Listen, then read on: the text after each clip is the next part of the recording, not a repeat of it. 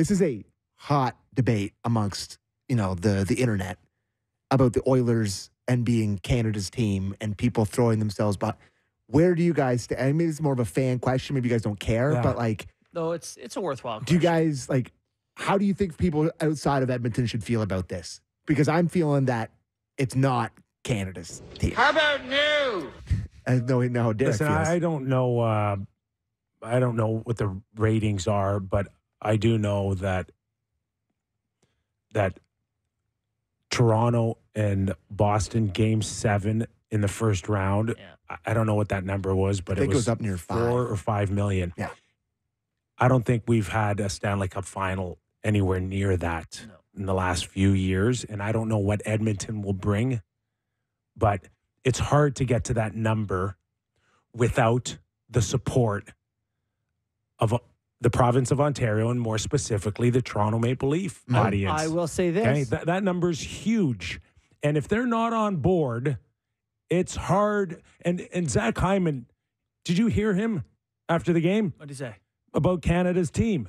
I don't know if Toronto feels that same way. Yeah. Like that's Oh, that, that's what That's decides a man if it's who's from here. I, And I- I- hate to say it, but that's what decides if it's Canada's team or not. But you know what? I watched that uh, Amanda Balionis, is it from Yeah. the Golf Yeah. Channel? She uh, she held up a Matthews sweater at the uh, at Yeah. the, the the rink hole and a McDavid sweater, and that McDavid sweater blew the place up. They were chanting "Go Oilers, go!" Listen, I hope they I mean, watch. here in Ontario. I- oh I, yeah, I didn't see that with the a Bri was there. massive pop for the Oilers jersey. I hope they watch.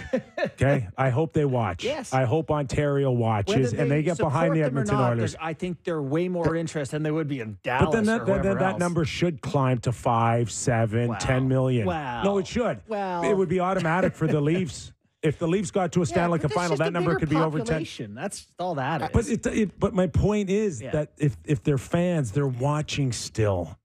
I think, yeah, I, I think McDavid alone is enough to generate national attention. You mentioned that you are more in support of the Oilers than maybe another Canadian team because you want to see McDavid Yeah. get his. that's I think that's what it comes down to. Like, I think there's two separate conversations between one where, sure, more people may be watching because it's a Canadian team and McDavid and Draisaitl and Bouchard and like the whole story. But I don't think more people may be rooting for them. But But I I think I- it's watching them and I rooting. I- I watching I and agree. rooting are two completely different things. If you didn't do this show, would you be watching? Oilers? Yeah, Yes. I'd watch this. If to ask me Dallas, Not but you don't. I would but, watch a but, second. But but your first instinct is you want the Toronto Maple Leafs to win the Stanley Cup first. You don't want Edmonton to win it. obviously. correct. Yeah. There's nothing and, I and care I about would more say, than the Leafs I would winning say the Cup. there's still. probably 75% of Sammys out there in Ontario.